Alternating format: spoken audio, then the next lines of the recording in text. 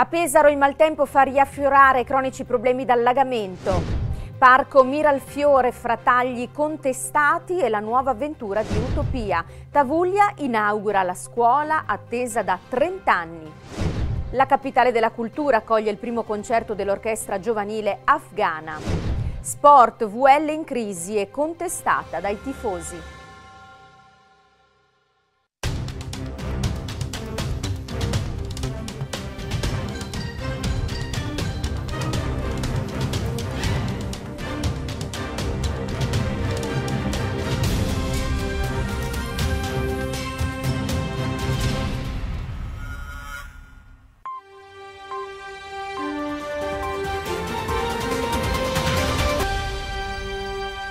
Serata, ben ritrovati al nostro telegiornale. Oggi è lunedì 8 gennaio e arriviamo dopo un weekend di maltempo che ha fatto riaffiorare sul nostro territorio cronici problemi d'allagamento, esattamente nella città di Pesaro. Diverse situazioni segnalate anche da voi telespettatori che andiamo subito ad esaminare in questo primo servizio.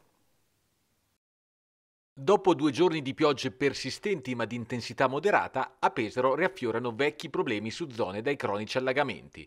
Hanno infatti destato stupore e disappunto le immagini delle panchine dello stadio Benelli, ieri completamente sommerse d'acqua a nemmeno quattro mesi dal completamento dei lavori del rifacimento del manto erboso e del suo sistema di drenaggio.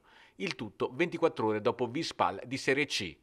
Critiche da parte dell'opposizione in Consiglio Comunale, a cominciare da Daniele Malandrino, sul lavoro reputato tanto oneroso quanto ancora inefficace. Pronta oggi la replica dell'assessore Riccardo Pozzi che in un comunicato ha precisato come quanto accaduto sia stato semplicemente una mancata attivazione degli automatismi che permettono alle pompe di smaltire l'acqua. Una situazione che è stata risolta in poche ore con l'attivazione manuale delle pompe, tant'è che l'avessi allenata regolarmente anche questa mattina. Per Pozzi si tratta di un incidente che si sarebbe potuto evitare, ma l'intervento che è stato realizzato complessivamente sul Benelli è stato ottimo. Pozzi che ammette dunque come si stiano valutando anche azioni legali nei confronti di chi ha esagerato proferendo gravi falsità sull'accaduto. Non solo lo stadio Benelli, la domenica ha visto allagarsi anche il campo scuola di Via Respighi, dove da tempo manca un corretto sistema di regimentazione delle acque. Puntuale si è allagato anche il sottopassaggio stradale di Loreto col traffico deviato per tutta la mattinata di domenica in attesa del drenaggio e dell'annesso monitoraggio della crescita delle acque del torrente Genica.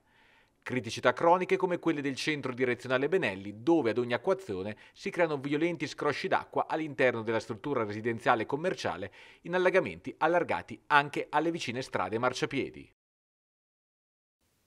Piogge a Pesaro ma anche prime imbiancate di neve sulle cime del nostro entroterra. Le immagini che vi mostriamo infatti si riferiscono alle prime precipitazioni nevose di questo inverno registrate nello scorso weekend fra Monte Carpegna, Monte Catria e Monte Petriano. Nevicate fin qui non abbondanti né supportate da un abbassamento delle temperature che consenta di dare il via alla stagione sciistica sugli impianti di risalita della provincia.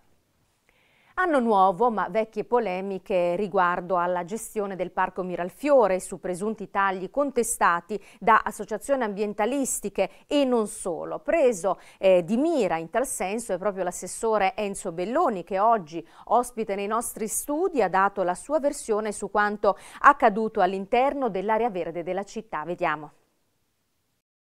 È una polemica protestosa, forse solo politica, no? per... Per cercare un po' di visibilità. E il parco è diventato uno strumento insomma, di battaglia politica, specialmente con eh, certi pseudo alleati. E, mm, sul parco non abbiamo fatto niente sostanzialmente, abbiamo rimosso delle piante che erano cadute sul sentiero dove passano le auto di controllo delle forze dell'ordine e abbiamo ripulito l'area verde eh, a ridosso del, del, parco giochi. Quindi è stato fatto un lavoro di manutenzione sostanzialmente, ma molti hanno fatto articoli sul giornale, polemiche, senza essere mai stati al parco, senza metterci i piedi dentro, e non sapevano nemmeno che cosa avevamo fatto. E, ripeto, abbiamo fatto solamente un lavoro di piccola manutenzione, tronchi a terra e, e pulizia del sottobosco a ridosso dell'area giochi. Un lavoro vero era stato fatto un, circa un mese e mezzo fa, prima del grande evento, avevamo affidato un lavoro di circa 20.000 euro per la potatura e il taglio degli alberi, mh, quelli mh, già secchi e la potatura delle piante, quelle più grandi, sul, sul viale che porta alla villa su, lungo la ciclabile di via Cimarosa, lungo la ciclabile di via Solferino. Se ci passate si vede chiaramente, tant'è che nonostante il forte vento e le centinaia di piante che sono cadute in tutto il territorio, lì non abbiamo avuto un crollo nelle, nelle aree dove siamo, dove siamo, intervenuti. Io vorrei sottolineare che stiamo parlando di un parco urbano, non un, eh, del Bosco delle Cesane, parco urbano dove la priorità è la sicurezza, tutto il resto viene dopo. Noi non tagliamo niente, sulla stampa avevano milantato il presunto taglio all'interno del bosco storico, il bosco storico non l'abbiamo mai toccato, non lo toccheremo mai, non raccogliamo nemmeno le foglie, quindi si tratta, eh, non lo so come chiamarlo, come definirlo, di terrorismo psicologico nei confronti miei o di altri, non lo so.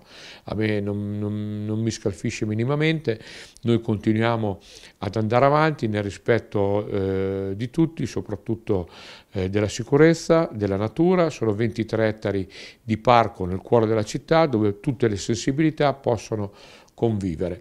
E siamo riusciti a mettere in piedi anche il proseguire il discorso con Utopia, grazie alla collaborazione con la Gulliver, vogliamo portare all'interno del parco anche nei mesi quelli meno fortunati dal punto di vista della fruibilità, come sono quello di dicembre, gennaio e febbraio, gente dentro, eh, utilizzeremo anche eh, il progetto Utopia per portare la gente al parco, poi dalla primavera in avanti tutti gli eventi che negli ultimi anni siamo riusciti a mettere in piedi.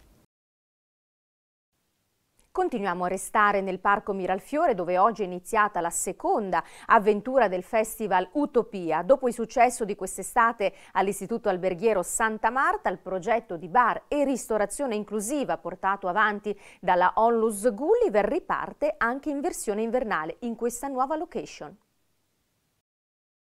Lunedì 8 gennaio Parco Miralfiore, locale Serra degli Agrumi. Riparte da qui l'avventura di Utopia, riparte da oggi dopo l'esperimento fortunato e di successo di questa estate negli spazi del cortile dell'alberghiero Santa Marta. L'associazione Utopia legata e nata dalla Onlus Gulliver riparte con un'esperienza di lavoro inclusivo, con un'esperienza di ristorazione e di recettività davvero molto particolare che è pronta ad accogliere nuovamente i cittadini pesaresi.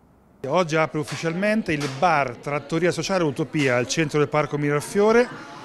Tanti ragazzi contenti, tante persone anche da questa mattina. Iniziamo questa avventura, speriamo che ci porti lontano. Dalla mattina alle 7 fino alle 6.23 saremo aperti.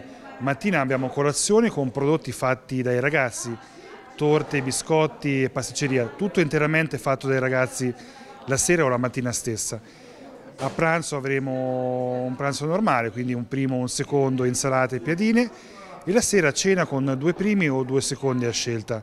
Musica dal vivo quasi tutte quante le sere, dalle 19 aperitivi, quindi un ambiente caldo, caloroso che aspetta che l'intera città lo abbracci. Il festival ci ha permesso di sperimentare una miscela di lavoratori che siano lavoratori con disabilità e senza disabilità insieme. Il festival ci ha, anche, ci ha fatto comprendere che la città è pronta ad accogliere questo nuovo sistema lavorativo, queste nuove imprese sociali e ha risposto con grande fiducia. E quindi questo qui è il primo ramo lavorativo vero e proprio, quindi adesso dobbiamo ritornare tutti al Parco Miralfiore che è un luogo centrale, centrale per la città, diventa un simbolo questa centralità eh, che ci dà l'opportunità di parlare di lavoro in modo differente. Eh, siamo pronti a um, accogliere la diversità e di incontrarci con la diversità. 60 ragazzi che ci seguono, avremo 15 ragazzi per turno, da lunedì al venerdì quei ragazzi che hanno finito la scuola, le varie scuole di Pesaro. Nel weekend avremo invece i ragazzi dell'Alberghiero, del Cecchi, del Mamiani, del Mengaroni, tutti quei ragazzi che ancora frequentano la scuola ma hanno voglia di mettersi in gioco e costruire insieme a noi. Ed ora da Pesaro ci spostiamo a Tavuglia perché risale a circa 30 anni fa, pensate, la prima idea di realizzare una scuola primaria nel comune di Tavuglia, un progetto ambizioso arrivato a compimento ieri con il taglio del nastro di un nuovo istituto che già questa mattina ha accolto gli alunni tavugliesi sui propri banchi. Ieri il taglio del nastro, oggi i bambini che si siedono sui banchi di un edificio scolastico nuovo di zecca e atteso da anni. È stata inaugurata ieri la nuova scuola primaria di Tavuglia intitolata a Vittorio Giunta. Una nuova scuola all'avanguardia tecnologica e di sostenibilità che ospiterà fino a 250 ragazzi, completando un polo scolastico tavugliese da 0 a 14 anni. Finalmente ci siamo arrivati, ce l'abbiamo fatta. È la, è la, prima frase che mi è venuta in mente pensando a questa scuola, a questo lavoro. È stata lunga, eh, piena di ostacoli e questa grande squadra che ha lavorato per vincere la partita alla fine ce l'ha fatta. Il progetto iniziale costava 4 milioni 350 completamente coperti da, dai fondi eh, della programmazione triennale 2018-2020, quindi MIUR. Poi nel tempo è diventata un'opera PNRR, quindi siamo riusciti a raggiungere l'obiettivo che sai scadono nel 2026 i lavori e noi questa è una delle prime opere che finiamo importante perché alla fine è costata 6 milioni. Io sono molto emozionata devo dire perché eh, come tutti i sindaci penso che sia uguale per tutti eh, inaugurare una scuola, permettere a dei bambini che dal vecchio passano al nuovo eh, è, un, è, la storia, è la storia di un paese.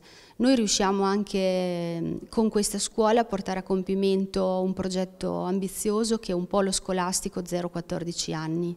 I prossimi mesi concluderemo anche i lavori per l'asilo nido e e arriviamo quindi così a completare questo ciclo. Questo plesso è la nuova primaria di Tavuglia che si va a integrare in un polo più ampio, come diceva la sindaca, che comprende l'infanzia, la scuola secondaria e tra qualche mese comprenderà anche il nido, quindi è un esperimento pilota a livello regionale per una formazione, un percorso 0-14 anni. Come vedete questa è una scuola all'avanguardia, un plesso che offre tutte le possibilità per attuare una didattica innovativa, una didattica che veda i nostri ragazzi sempre più attivi e sempre più protagonisti e che educhi di per sé alla collaborazione, al rispetto e al lavoro di squadra. Questa è una scuola eh, che ha delle caratteristiche molto importanti perché essendo una struttura che ha delle prestazioni sismiche altissime, è una struttura che ha anche delle prestazioni energetiche e acustiche molto elevate. Considerate che è una struttura in un edificio NZEB, eh, parliamo di un edificio che è costituito da un corpo principale che è la scuola di circa 1600 metri che è collegato a una mensa e con un ponte coperto e chiuso viene, è proiettata verso la palestra superiore, quindi parliamo di un edificio che ha una superficie coperta di circa 2500 metri. È il secondo edificio che inauguro in, da questo inizio dell'anno e devo dire che sono estremamente felice perché il mio il mio sogno, come ho detto a, a Subissati che ha fatto questa scuola e alla sindaca Francesca, alla sindaca Francesca Paolucci, che il mio sogno è quello che eh, si vada in una scuola col piacere di andarci. Oggi molte scuole hanno dei luoghi angusti dove andare, non luminosi, non, eh, non idonei secondo me alla scuola che si fa oggi, alla, a far volare la fantasia. Questa qui la vediamo, è bellissima, è stupenda,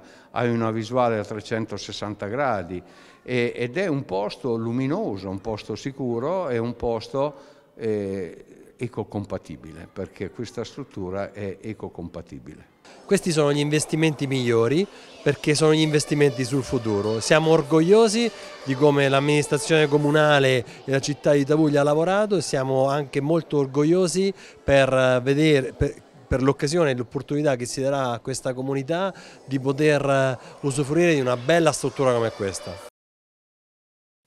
Non solo Tavuglia, sabato infatti un nuovo edificio scolastico è stato inaugurato anche a Fermignano, scuola in via Donizetti che è stata eh, intitolata alla memoria di David Sassoli, ex presidente del Consiglio europeo scomparso prematuramente nel 2022. L'edificio già da questa mattina ha cominciato ad accogliere gli allievi fermignanesi in una superficie di 10.700 metri quadrati, di cui 7.000 di verde, che ha reso possibile la costruzione di una pista d'atletica e campi da mini volley e mini basket. All'interno del fabbricato trovano posto 20 aule in grado di ospitare fino a 500 studenti, un'aula magna, la palestra, gli spogliatoi, una segreteria e una biblioteca. Si tratta di un progetto dal valore di 5,3 milioni di euro, un milione provenienti dal GSE, 500 mila dal bilancio comunale e il restante dal bando regionale per l'edilizia scolastica. Quella di ieri è stata purtroppo anche una domenica funestata da due lutti nella sanità provinciale. All'ospedale di Pesaro è infatti morto il ginecologo Girolamo Martino, medico noto soprattutto a Mondavio dove Martino si candidò a sindaco durante le ultime elezioni amministrative. Martino soffriva da tempo di patologie respiratorie ed è deceduto all'età di 62 anni dopo una crisi cardiaca. L'Ordine degli infermieri piange invece la scomparsa di Rosanna Ardone, venuta a mancare ieri all'età di 78 anni dopo una lunga carriera da infermiera nel reparto di cardiologia dell'ospedale San Salvatore. Ed ora invece cambiamo argomento, vi mostriamo uno dei tanti appuntamenti legati all'Epifania avvenuti in questo fine settimana. Tra i più suggestivi l'arrivo dei Re Magi a conclusione dell'evento Betlemme a Talacchio. La ricorrenza ha organizzato un corteo verso la chiesa di San Michele Arcangelo dove si è tenuta la tradizionale benedizione delle famiglie. L'Orchestra Sinfonica Rossini, che in questo 2024 celebra i suoi 30 anni, dà il via ad un ciclo di concerti dedicati a Beethoven. Primo appuntamento giovedì 11 gennaio alle ore 21 al Teatro Rossini con il concerto dal titolo Beethoven Opera Prima in cui l'orchestra, diretta da Daniele Agiman, farà riecheggiare le inconfondibili sonorità del grande compositore tedesco. Solista del concerto sarà la pianista Anastasia Mustafina del Conservatorio Rossini. Continuiamo a parlare di musica perché un altro concerto darà invece il via domani al primo appuntamento di carattere internazionale del 2024 di Pesaro, capitale della cultura. Ospite del Teatro Rossini sarà infatti l'orchestra giovanile afghana rifugiatasi in Portogallo dopo l'arrivo del regime dei talebani. Orchestra che proprio a Pesaro si esibirà con il suo primo concerto europeo.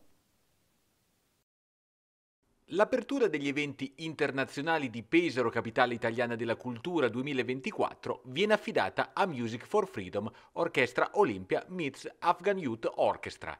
Si tratta del primo concerto italiano dell'orchestra giovanile dell'Afghanistan che incontra l'Olimpia di Pesaro. Un concerto in programma domani, martedì 9 gennaio alle 21, al Teatro Rossini.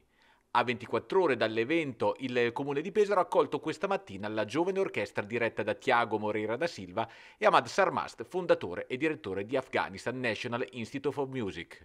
Sarà un concerto che finalmente vedrà realizzarsi il progetto di gemellaggio che abbiamo iniziato nel lontano 2019 e che poi per il Covid e poi per l'arrivo dei talebani e per altri impedimenti ci ha fatto arrivare ad oggi. Eh, il concerto vedrà un programma che è incentrato sulla eh, diciamo, musica tradizionale afghana e in generale del Medio Oriente per cui ci sarà un'apertura in cui potremo ascoltare eh, pochi ragazzi eseguire eh, su, su, degli strumenti tradizionali afghani eh, delle musiche originarie. Dopodiché eh, si andrà con l'orchestra al completo e ci saranno due tributi alla musica occidentale, quindi con Brahms e Dvorak. Dopodiché continuiamo ad ascoltare ehm, musica tradizionale ma per orchestra sinfonica. Il concerto è unico in Italia l'ensemble è la prima volta che in Italia e in generale dopo essere stato a Ginevra all'ONU ehm, possiamo dire che ci pregiamo della gioia di averli qui come primo teatro italiano. Questo è un primo concerto italiano dopo aver eh, suonato all'ONU e a Ginevra quindi siamo veramente felici di poter accogliere una parte della formazione dell'orchestra giovanile afghana assieme all'orchestra eh, femminile, in questo caso eh, Olimpia eh, di Pesaro. Sarà una bellissima serata al Teatro Rossini che appunto segnerà non solo diciamo, l'importanza e il valore internazionale della musica rispetto alla pace, rispetto soprattutto alla democrazia, ma anche un'occasione ovviamente artistica di altissimo livello, con i giovanissimi interpreti, a partire anche dal giovane direttore di, eh, di, grande, di grande, richiamo e ovviamente anche l'onore di avere con noi Ahmed Sarmast, che è una sorta di, diciamo, di Nobel della musica se esistesse, che è stato il protagonista negli anni di questa esperienza così significativa che si è tenuta in Afghanistan e che ora diciamo, prosegue in Europa. Ci abbiamo tenuto molto a eh, rendere noto quello che stava succedendo anche all'interno della rete scolastica pesarese, perché i ragazzi che suoneranno dall'Afghan Youth Orchestra sono ragazzi dai 14 ai 20 anni. Quindi abbiamo voluto far sapere ai ragazzi dei licei quello che stava succedendo e avremo un nutrito numero di studenti del liceo Mamiani che verranno accompagnati eh, da qualche docente. Questo ci fa veramente piacere perché la musica arriva anche ai ragazzi più giovani. E siamo arrivati alla fine del nostro telegiornale, così come tutti i lunedì, l'ultimo servizio lo dedichiamo alle notizie di sport, è stato un weekend difficile soprattutto per la crisi in corso alla Carpegna Prosciutto Basket Pesaro. Continua l'inverno di preoccupante involuzione della VL che inaugura il suo 2024 cadendo in casa con Sassari 69 a 79 al termine di una partita surreale in cui esplode la contestazione dei tifosi con la curva che abbandona anzitempo il match. Un gesto d'impatto all'interno di una partita in cui la VL gioca un buon primo quarto prima di affondare su un clamoroso meno 30. Altrettanto clamorosa è però la rimonta che si ferma almeno 4 a 2 minuti dal termine finale in cui Sassari riemerge vincendo la contesa e affossando la VL in piena zona retrocessione. Nel calcio, Befana amara per la Vispesaro che incappa nell'ennesimo pareggio, ancora una volta quando era un passo dalla vittoria.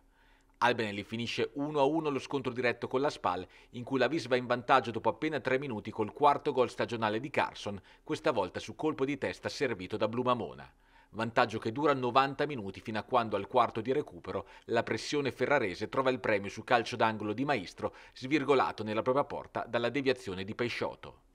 Nel calcio 5 invece l'Ital Service lotta alla pari contro Napoli in terra campana per almeno tre quarti di gara.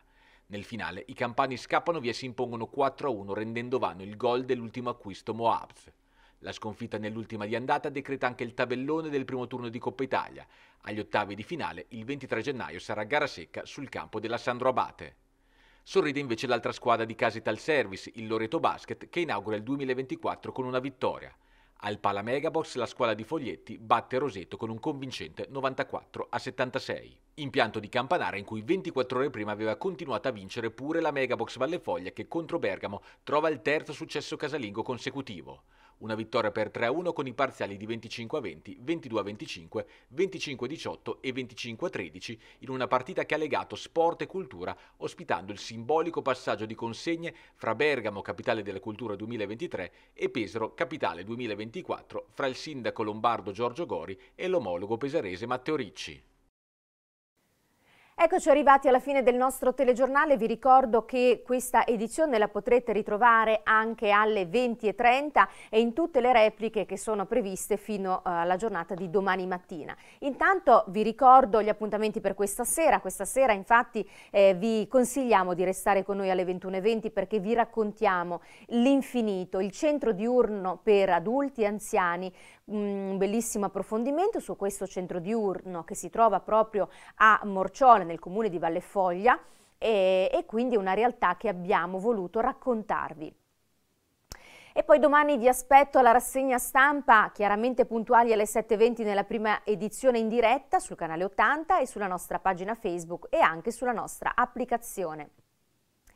E poi ancora domani sera una nuova puntata di Amministrando, iniziamo, anzi iniziano a scaldarsi i motori per quelle che saranno le prossime elezioni amministrative, saranno giorni di fuoco, giorni di grandi svelamenti, quindi seguiteci perché Rossini TV è la TV insomma, che vi dà tutte queste informazioni. Domani sera intanto ci sarà un bellissimo dibattito da non perdere, alle 21.20 avremo Enzo Belloni che è assessore al Comune di Pesaro ed Emanuele Gambini che è consigliere comunale come sempre grazie per essere stati con noi anche questa sera, il consiglio è sempre quello di seguirci sulla nostra pagina Facebook, sul nostro profilo Instagram e scaricare la nostra applicazione. Buona serata.